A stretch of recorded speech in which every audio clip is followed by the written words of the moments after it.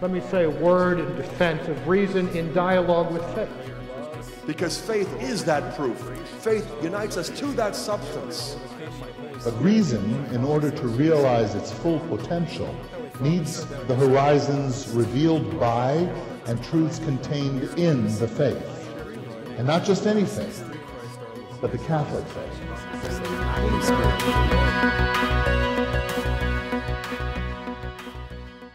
And it's a very special pleasure to be giving this talk um, on the memorial of um, St. Albert the Great, Big Al to his friends.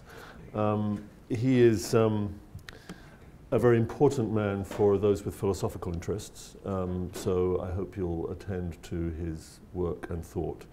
We could, with the uh, fantasy of a philosopher, try to imagine what Kierkegaard would have thought about reading Albertus Magnus, which I don't think he ever did. Um, that, that's an interesting thing. We can maybe talk about that. Um, all right, I must make one uh, disclaimer before I give you this talk. The disclaimer is that I am not a specialist in the work of Soren Kierkegaard. I lack the principle, or at least a necessary condition for being so. A necessary condition for being so is that you can read Danish. I don't. That rules me out immediately. Uh, but I should also say I've not written on Kierkegaard. This is, in fact, the first formal public presentation I've ever made on him. I've taught him now and then. I've read him mostly devotionally for 25 years, I suppose, but I'm far from being a specialist on him. So keep that in mind. Be gentle, in other words. Okay.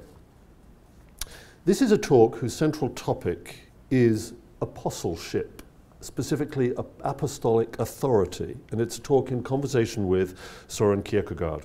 Its central questions are what is it to be an apostle? What kind of authority do apostles have? How ought those who receive an apostolic call respond to that call? How ought those who are not themselves apostles respond when they find themselves faced and addressed with apostolic authority by those who are apostles? Where, if anywhere, is apostolic authority to be found among those now living, or at least living in the 19th century when Kierkegaard was writing, but we can extend his thought about it to the present. Authority is the thread that connects all these questions. As we shall see, the question about apostolicity is in the end a question about authority, at least so far as Christians are concerned. It will be helpful to have before us, as we begin, Kierkegaard's understanding of what an apostle is. Two definitions. First, I quote An apostle is not born, an apostle is a man who is called and appointed by God and sent by him on a mission. Close quote. Second, another definition. I quote The apostle is the one who has divine authority to command both the crowd and the public. Close quote. These are definitions Kierkegaard repeats and embroiders frequently, and I'll return to them. So the talk is framed by an overture and a coda, which have the form of a brief commentary on and response to two passages from the first chapter of Luke's Gospel. The central part of the talk, then, with that frame, has three movements, the first of which is an exposition of the case of one Adolf Peter Adler, a Danish Lutheran pastor contemporary with Kierkegaard who took himself to have received a direct verbal revelation from Jesus Christ and thus to have been commissioned as an apostle. The second movement of the talk is a depiction and analysis of Kierkegaard's treatment of Adler's case in his book on Adler, a work in which much is said, not only about Adler's case in particular, but also about the idea of apostleship in general. And the third movement of the talk is a suggestion about how to understand and respond to apostolic calls, whether one's own or another's, which I take to be an improvement on Adler's response to his own case and even on Kierkegaard's analysis and critique of Adler's own response. Now, disagreeing with Kierkegaard, which is what I will do in the third movement of the talk, is always a risky thing. He was one of the most uh, sharp witted and dialectically skilled people ever to have walked the earth, it seems to me. And to attempt disagreement with him is usually to find oneself on a very sticky wicket indeed. That's a cricket metaphor, so don't worry about it if you don't like it. you'll get the idea. Um, the attempt to push through a criticism of him usually runs aground on the discovery that he's already thought of and forestalled that problem, and that may well be the case this time too. Nevertheless, I'll be giving it a try. First, then, the overture, from which my texts are taken from, as I said, the first chapter of Luke's Gospel. In that Gospel, rarely remarked in quite this way, there are two annunciations one to Zechariah and one to Mary. In the first of these, the angel Gabriel appears to Zechariah in the Jerusalem temple, tells him that his wife Elizabeth is pregnant with a boy, and instructs him that he should name the boy John. In the second, the angel Gabriel appear, appears to Mary, tells her that she will conceive a son, and instructs her that she should call him Jesus. In both annunciations, the angel provides some details about the future careers of these two infants not yet born. These two Annunciation stories fit perfectly the definition of apostleship with which we're working. Both Zechariah and Mary are directly called and commissioned by the Lord, or at least by an angel speaking the Lord's words, and are instructed to perform a specific task, which is to say, given a mission. The mission includes, in both cases, the act of naming. Mary and Zechariah do not, however, respond in the same way. Zechariah asks, How shall I know this? and follows the question with a mention of what he apparently takes to be the principal evidence against the truth of what the angel says, which is that both he and Elizabeth are old, beyond the age of childbearing. How shall I know this? Is a perfectly ordinary kind of question in response to a claim that seems to you to promise something that's very unlikely to happen. It's a question that takes you at once into the realm of epistemology. Zechariah doesn't believe what the angel says to be true. He thinks there's very strong evidence against it, and he wants to defer acting on his apostolic commission until he's been given enough evidence to convince him that he should. The angel doesn't think much of Zechariah's answer. He strikes Zechariah dumb until the day that these things come to pass, quote, and gives as reason for doing so that Zechariah has shown a lack of faith. Mary's response to her apostolic commission is quite different. Her question to the angel is, How shall this be, since I have no husband? This question, Gabriel answers directly by explaining in veiled terms the Holy Spirit's part in the affair, and Mary then responds with the words of acceptance. Ecce ancilla Domini fiat mihi secundum verbum tuum. Mary spoke Latin, of course, we all know. Um, she, the Gospel account makes abundantly clear, has asked the right question. She doesn't ask to be convinced that what the angel promises will occur. She knows that in the usual way of things, pregnancy requires sexual intercourse between a man and a woman, and she's interested to know how it will occur in her case without such intercourse. The angel explains, and that is enough for her to speak the words of acceptance. So that's the overture. It presents us with two apostles, according to Kierkegaard's definitions that we're working with, two human beings called and commissioned by the Lord. Neither of these two doubts that they are in this condition, that they have been given an apostolic commission. Zechariah's doubts aren't about that. They're about whether he has enough evidence to make it proper for him to give his consent to his commission without being given further evidence that the deeply surprising state of affairs the angel describes will in fact come to pass. Mary has no doubts of that kind.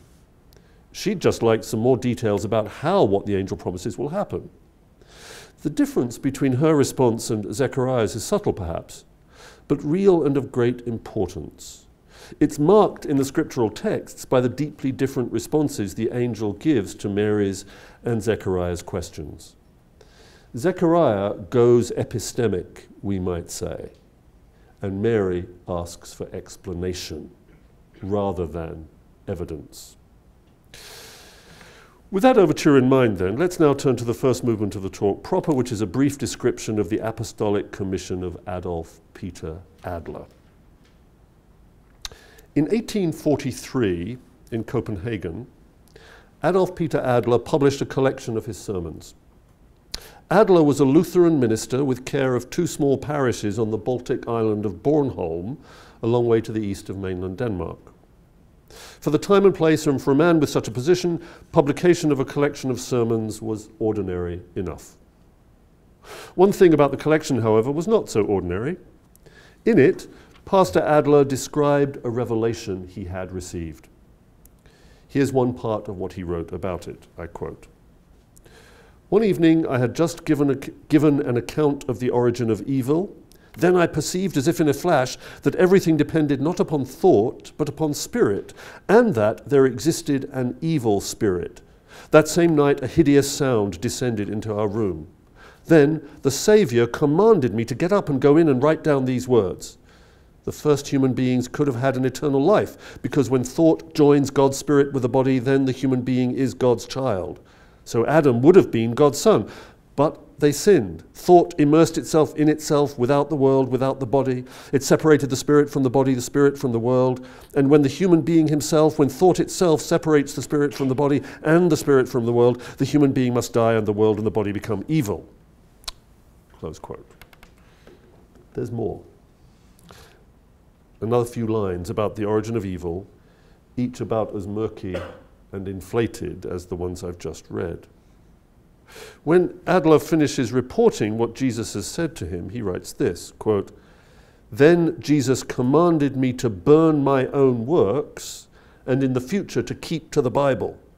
As for the sermons, he means the sermons published in the book to which his account of the Revelation is prefaced, as for the sermons, from number six to the end, I know that they were written with Jesus' collaborating grace, so that I have been only an instrument. Close quote. And Adler goes on to say that he obeyed Jesus' command to burn his own works, which were on Hegel's philosophy and especially his logic. After the publication of this volume of sermons and of several more works, Adler was eventually subjected to discipline by the Danish Lutheran Church and was finally removed by his bishop from the pastorate. So much for Adler and his revelation. He was an almost exact contemporary of Kierkegaard's, of the same social class and education, and was like Kierkegaard as well in being a prolific writer. The two men knew one another. Middle class Denmark in the first half of the 19th century was a tiny community, it seems, in which everyone knew everyone else, though they were not intimates. Adler and his revelation would no doubt have vanished from history had his case not caught Kierkegaard's interest. In 1845 and 1846, a mass of documents about the Adler case was published in Copenhagen, including the records of the ecclesiastical proceedings against Adler, and no less than four volumes of writings by Adler. Kierkegaard bought all this material, read at least some of it, and in 1846 to 1847 wrote a book about the case which has come down to us. This is the book on Adler. It's on that book that the remarks I'm making are based. However, although Kierkegaard revised and re revised the book on Adler obsessively in the years following 1847, he never published it.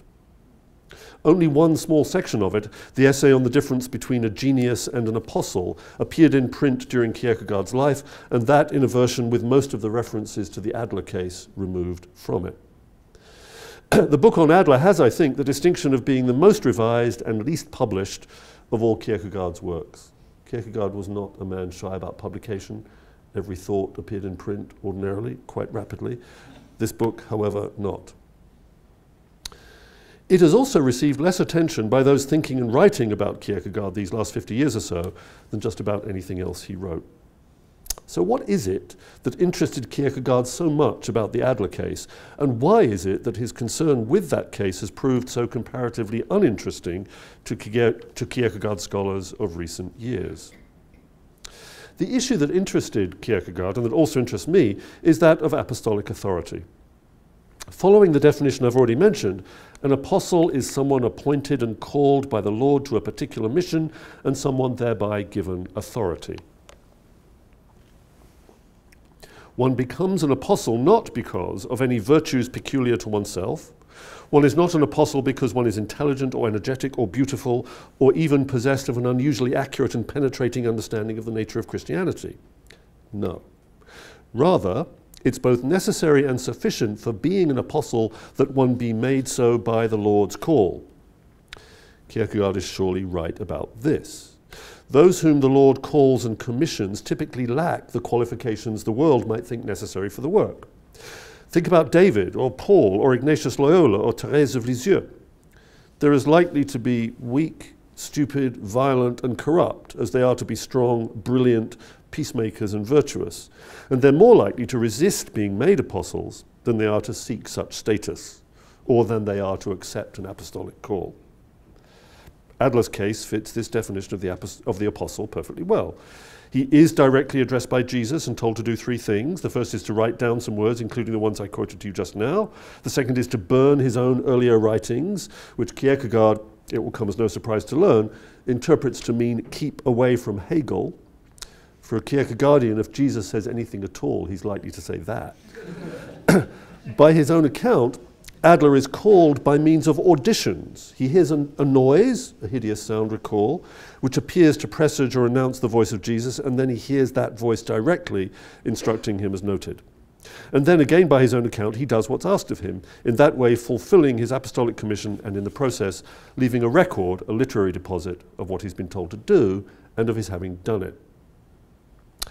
So Adler, if he has in fact been spoken to by Jesus, and in a fashion typical of apostles, Adler's record of his own call and commission offers no comment on how it is that he knows the voice that speaks of him to be the voice of Jesus. If he has in fact been spoken to by Jesus, then he's almost the ideal type of the apostle. According to the definition, at least, Adler is every bit as much the apostle as St. Paul, and of course, Adler's own account of his call is influenced, causally speaking, by the Old Testament accounts of prophetic commissioning, and most especially by the account of St. Paul's call given in the book of Acts. Kierkegaard recurs most often in the book on Adler to the example of Paul as the ideal type of the apostle, one called, commissioned, instructed, and obedient. So that's the case of Adolf Peter Adler. Now, the second movement, Kierkegaard on Adler. Some preliminary distinctions will help us here. The first is that between an apostle who is convinced that he is one, convinced that is that he has received a commission from the Lord, on the one hand, and the apostle who, though he has in fact received such a call and therefore is in fact an apostle, an apostle in the order of being, we might say, is unaware of this fact about himself or in denial about it. Adler is in the first category. And it's almost exclusively those who belong to it that interest Kierkegaard. He's concerned with self aware apostles, apostles who take themselves to be such, at least at the time of their call, and has little to say about those unaware of or in denial about their apostleship, though he is interested, as we'll see, in those whose behavior or attitudes subsequent to their call performatively contradict it. A second distinction is that between the authority of the apostle's call for himself and its authority for others the degree of authoritativeness given by Saul about to become Paul to the Lord's words to him on the Damascus Road must in some sense be different for him than for those who later hear him or read him and take him to be an apostle, and certainly so for those who do not take him to be an apostle at all. Kierkegaard is concerned with this difference, as we shall soon see. And a third distinction is that between the content of what the apostle hears and says and is commissioned to do on the one hand, and the sheer fact of being called or commissioned on the other.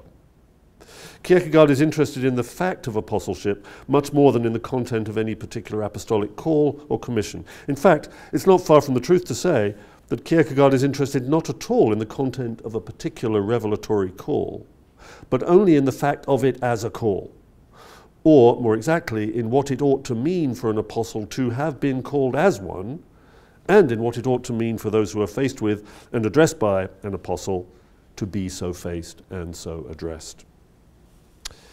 In more detail, then, Kierkegaard identifies his investigation of Adler's case as, I quote, an inquiry into the concept of authority, what it means to have divine authority, into the confusion so that the concept of authority has been completely forgotten in our confused age. Close quote. Kierkegaard wants, that is, to investigate Adler's response to his apostolic call as a paradigmatic instance of how to misunderstand what such a call is. He does this by allowing, for the sake of the argument, that Adler really has been called, that Jesus really has spoken to him, as Adler reports him, reports him having done, and really has instructed him to burn his books and so on. Anyone in such a condition, Kierkegaard thinks, ought to understand that what has happened to him belongs to the religious sphere. He has been given a revelation, and this, I quote, must be accentuated unconditionally, close quote. It's something that outstrips or exceeds in an utterly radical way anything that belongs to the ethical or aesthetic spheres. To be an apostle, to be in possession of a revelation fact, as Kierkegaard again and again puts it, is not to be given anything that can enter as premise into an argument about what is good, what is beautiful, or what ought to be done or not done. Those sorts of conversations belong to the world. They are ethical or aesthetic or even political. And with such, the properly religious, the revelatory or apostle constituting, has nothing at all to do, as Kierkegaard sees things. To treat the revelation or call that one has received exactly as such, exactly as a word from the Lord, then, is to treat it as something whose authority is beyond question. It is not, not an exaggeration, I think, to say that for Kierkegaard, there can, in principle, be no criteria for assessing the validity or reliability of the apostolic call extrinsic to itself. It is not quite right even to say that an apostolic call is self validating. Better to say that as soon as the question of its validity arises, as soon as the one who has received such a call asks herself whether she has in fact received it, as soon that is as she goes epistemic, recalls Zechariah, rather than remains in the open handed mode of receiving the gift given, as soon as she does any of that, she has begun to show that she does not take herself to have received a revelation and thus does not understand herself to be an apostle. It's rather like etiquette. If on meeting you for the first time I have to consider whether you're the kind of person whose hand I should shake, then I've already exited the sphere of politeness. Even if I do then shake your hand, having considered you and decided that you're worthy, I do not do so as a matter of etiquette, but rather something different, something calculative, something worse. Just so with going epistemic on an apostolic call. To decide on the basis of evidence that the voice addressing one is the voice of Jesus is exactly as Kierkegaard would see it, not to respond to it as the voice of Jesus, but rather as the conclusion of an argument. How then should Adler, as recipient of an apostolic call, respond to the fact of it? He must, I quote, he must understand himself in this, that it has happened to him, that it is the most certain of all that it has happened to him, and that without any subsequent chatter, without any turning and twisting, it was and is and remains a revelation. Close quote. These are familiar Kierkegaardian themes. The apostolic call is a matter of inwardness. It neither needs nor can get validation or support from anything external to itself. In the order of knowing, or as we may say at the epistemic level, it is more certain than anything else is or can be. It is an instance of what later philosophy would call, sometimes affirmingly and sometimes critically, the given. And the apostle is, above all else, one who is in receipt of the gift. What the apostle is given is himself as creature, himself before the Lord, himself as dialectically related to the Lord and as gifted by the Lord with authority. The apostle finds himself both under authority, which is to say, the authority of the revelation given to him, and with authority for others because he has been commissioned to speak to them as an apostle. There is then, both for the apostle and for those who hear him, a single and simple question. I quote, Will you obey or will you not obey? Close quote. The rejection of chatter in the long quotation I read just now is also important. The apostle does not need to be loquacious, either in explication or justification of the call he has received. Much less does he need to turn and twist in trying to understand or interpret his revelation or in seeking endorsement of it from others. What the apostle does need is to find in the fact of his call an understanding of himself as he is before the Lord, a creature called and established as a creature gifted. That really is all. The man or woman in such a condition has quiet assurance of their condition and is extraordinary both statistically, apostles a few, and in virtue of the authority possessed because of apostleship. Those who have no apostolic call should be obedient to those who do, because the authority given by such a commission is of a different order than any worldly authority. And those who have such a call should, of course, themselves be obedient to it. Kierkegaard makes all these points in the first 30 pages or so of the book on Adler. Much of what follows is a detailed analysis of the evidence in Adler's writing that he, Adler, does not in fact understand himself to have received an apostolic call. More exactly, Adler performatively contradicts the putative fact of his call by what he writes about it, and by what he does as a result of having received it. If Adler has in fact received a revelation, Kierkegaard writes, it would be, quote, a paradoxical extraordinary provision, close quote. And he would be called by it simply to teach what he has been given and to do so with authority as St. Paul did. But Adler doesn't do this. Instead, he makes himself an interpreter of his own revelation, acting towards it just as contemporary, that is 19th century, exegetes act towards Scripture.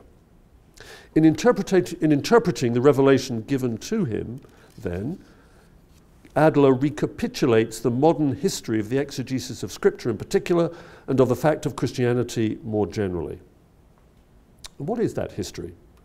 It is, in Kierkegaard's view, to make Christianity, which here means something like what is given in Scripture, a set of reference points or assumptions which need to be completed or brought to perfection by the application to them of the more mature understandings arrived at by thoughtful human beings in the modern period. Christianity, on this view, is something that needs to be developed, grist for the mill of modern thought, which will, with time, bring it to perfection. All this is anathema to Kierkegaard. Taking such a position is, as he sees it, to subordinate Christianity to something extrinsic or external to itself to make of it a moment in a Hegelian dialectic of perfection, and thus to eviscerate it, to turn it into the plaything of an established church which no longer has any understanding of the gospel it takes itself to preach. These too are all familiar Kierkegaardian themes. Kierkegaard's critique of Adler's stance toward his apostolic call shows how the Kierkegaardian critique of the church works on a small scale and Kierkegaard tightens the screws when he analyzes the records of the Lutheran Church's proceedings against Adler.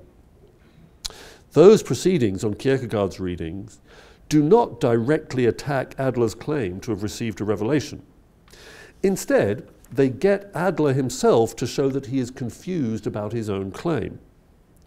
Adler is prepared to entertain the possibility that he has misunderstood the fact of his call and he is abundantly clear in response to the questioning of his bishop that he will subordinate what Jesus has told him in the moment of his apostolic call to the content of Scripture and to the authority of the state church. In making these moves, Adler shows himself, I quote, a man who has claimed to have had a revelation from the Saviour in which a doctrine was entrusted, entrusted to him, it's now been shown that he does not understand himself, is not in agreement with himself, that he neither has a firm and qualitatively unshaken concept of what a revelation is, nor does he stand unshakably firm by his assertion. Close quote. Adler then, in his response to church questioning and then in his own subsequent writings, shows himself to write and think as, quote, a private, confused lyrical genius, close quote, who has renounced the authority proper to the apostle. What Kierkegaard means there is that Adler has shown himself to be just like him, that is Kierkegaard, viz., not an apostle, but rather a chatty or loquacious lyrical genius. Kierkegaard has a technical understanding of what the term genius means, I won't go into.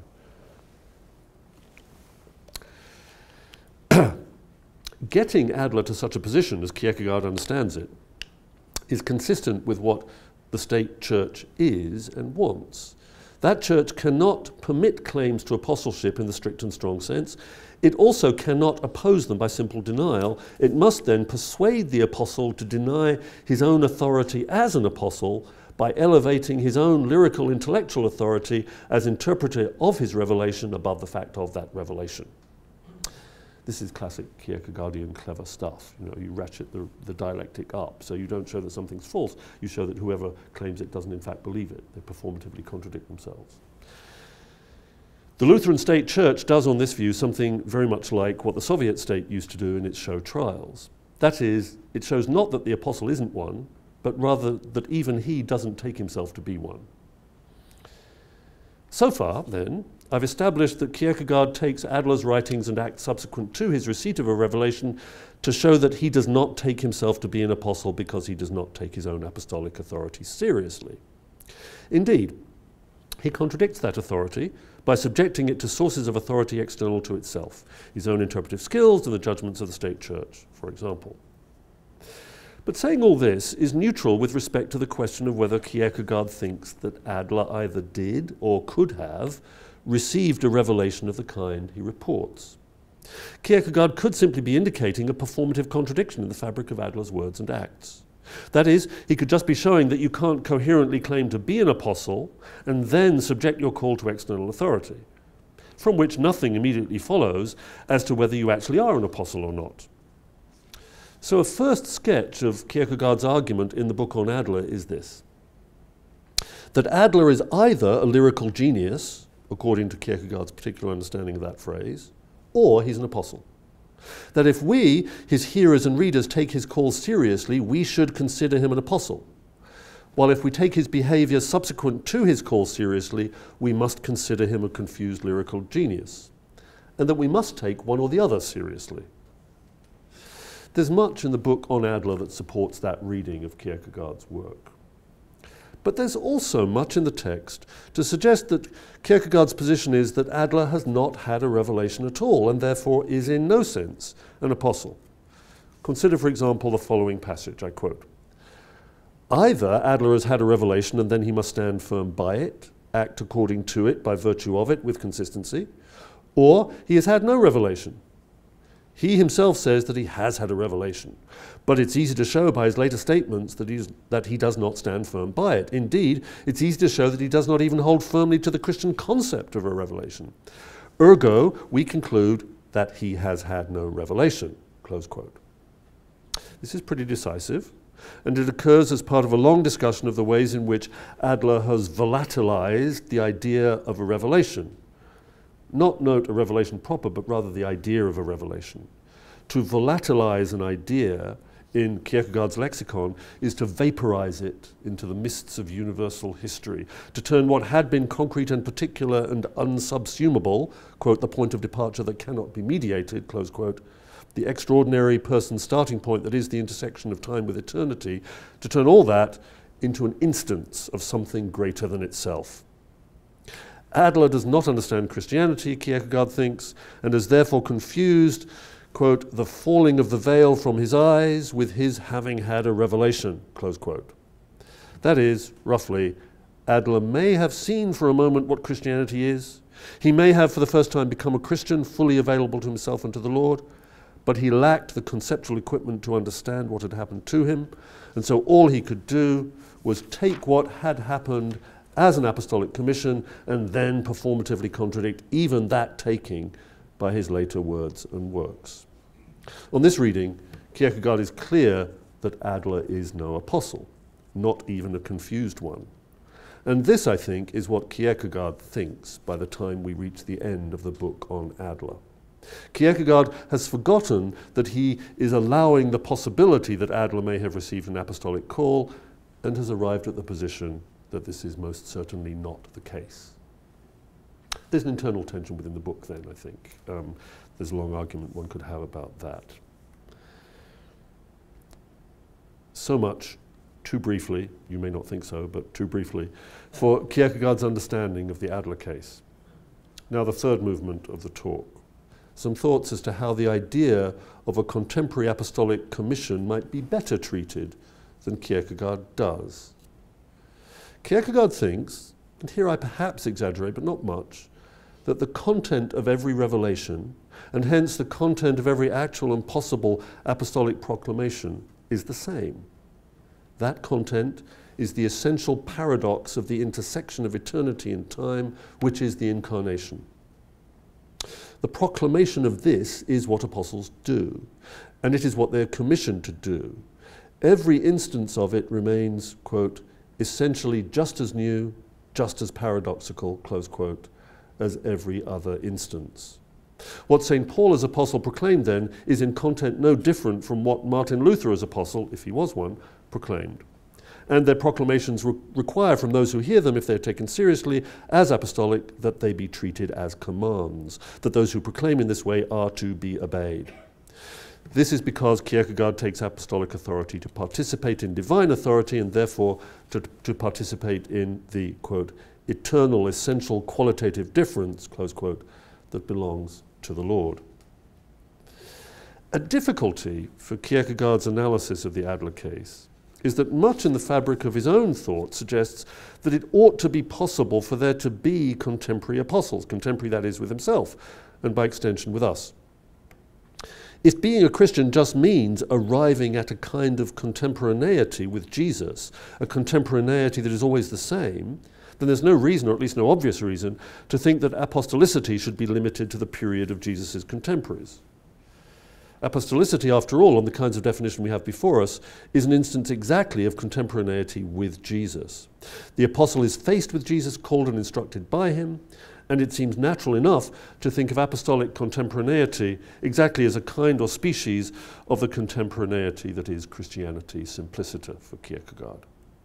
And this is exactly how Kierkegaard does think of it and analyze it throughout most of the book on Adler.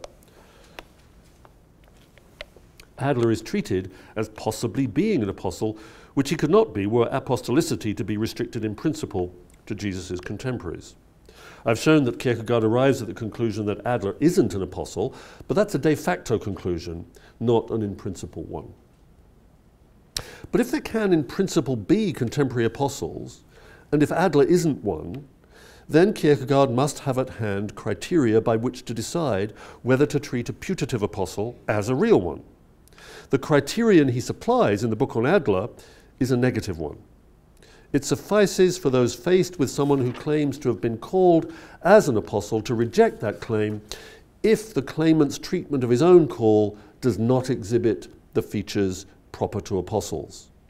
We've seen those features to include a quiet certainty that an apostolic call has in fact been received, a proclamation of the revelation without justifying it as such, a renunciation of loquaciousness, there's always an irony in Kierkegaard advocating the renunciation of loquaciousness, right? He's about the most loquacious human being ever to have lived. It's consistent because Kierkegaard doesn't claim to be an apostle, but still, we find frequently in his writings denunciations of the excessive loquaciousness of Hegel, for example, and there's some irony in that. Partly deliberate and partly not, I think. A renunciation of loquaciousness, and above all, a refusal to subject the content of the revelation to criteria for its identification and, and interpretation extrinsic to itself. And it's because Adler's behavior does not exhibit these features that Kierkegaard in the end rejects his claim to apostleship. Kierkegaard then deploys here an epistemological criterion. That is, he asks Zechariah's question How shall I know this? And he answers the question negatively. Given this mode of procedure, we can ask could there be contemporary apostles who pass this test? Apostles who behave after they've been called as Kierkegaard thinks apostles should, which is to say, as if they have in fact been called. If Kierkegaard is to be consistent, the answer to this surely has to be yes. But this answer indicates a fairly serious difficulty internal to Kierkegaard's thought about the nature of Christianity and about what it is to be a Christian. Christian faith for Kierkegaard relies upon revelation. It's a dialectical and paradoxical response to something authoritatively given, something that could not be arrived at or constructed by human beings. The locus classicus for this revelation for Kierkegaard is the text of Scripture, which he calls, quote, the original text of individual human existence relationships, the old familiar text handed down from the fathers, close quote. This text is not and cannot be shown to be properly apostolic, a proper locus of revelation, by a set of criteria brought to it from outside itself. To attempt that, which is exactly what he takes Hegel to do, to attempt that would exactly be to subject the particular revelation to the universal, to turn it into an instance of something that embraces and subsumes it, in brief, to treat it as Hegel, or at least Kierkegaard's imagination of Hegel, would do. And yet, Kierkegaard does subject Adler and thereby other candidates for contemporary apostleship to the kinds of epistemic criteria he rejects in principle as appropriate for the testing of Scripture as apostolic witness, or as appropriate for use by particular apostles as tests for the genuineness of their call. If we shouldn't go epistemic and thereby also go Hegelian, as Kierkegaard would see it, in the former cases, why should we do so in these latter day instances? Why aren't we, if we do that, subsuming putative revelations and putative apostolic calls into a universal schema, one that requires evidence extraneous to themselves for the assessment of their validity? Let's return our thoughts to get a grip on this for a moment to the overture with which I began. I mean, the distinction between Zechariah's and Mary's response to the revelation with which they were faced. Zechariah is struck dumb exactly because he retreats to epistemology when addressed by an angel. Mary is praised and blessed exactly because she doesn't do that. He wants to be convinced, she wants to understand. The former is the wrong thing to do, the latter the right thing, at least if what you're faced with is a revelation fact, an apostolic call from the Lord. Kierkegaard treats Adler's claim to have received an apostolic call very much as Zechariah treats his own call. At least he does this by the time we reach the end of the book on Adler. He asks to be convinced, and he isn't convinced. There are differences, certainly, between Zechariah and Kierkegaard on this matter. Among the more important of these is that Zechariah responds to his own call and Kierkegaard to someone else's. But I don't think this makes much of a difference for the questions I'm addressing in this talk. A consistent Kierkegaardian position would ask the question, will you obey or will you not obey? Of someone else's revelation every bit as much as of his own. This is just how Kierkegaard advocates responding to St. Paul's claim and communication of his apostolic call, for example, and without an in principle restriction of apostolicity to the time of Jesus, which we've seen that Kierkegaard doesn't and can't provide if he's to remain consistent, the same response ought to be offered to contemporary claimants to apostolicity. This exactly means, I suggest, that the epistemological question, convince me, why should I believe you, is ruled out for the very asking of it already treats the apostle not as someone with a word from the Lord, but rather as what Kierkegaard calls a genius, a man with an argument, that is, to be assessed in worldly terms. But if one is not to ask Zechariah's question of claimants to apostolicity, what is one to do? In suggesting an answer to that question, in bringing this talk to an end, I'll go beyond what Kierkegaard says and I hope resolve the tension I've identified in his thought. But before doing that, I must emphasize the deep rightness of Kierkegaard's thought about the inappropriateness of asking the epistemic question about apostolicity. Kierkegaard sees clearly and shows with great power what's wrong with taking an approach like Zechariah's. And although I'm not aware that Kierkegaard ever appeals to the two Annunciations in Luke 1 to support the position, I stole all that from Newman, by the way, not Kierkegaard. Um, although I'm not aware that Kierkegaard ever appeals to those texts to support the position, I think he would like the line I've taken on those texts.